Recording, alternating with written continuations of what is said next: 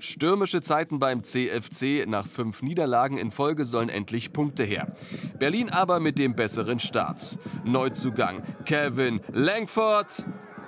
Glück für Chemnitz. Kein Tor. Der Ball klar vor der Linie. Der CFC arbeitet sich rein in die Partie.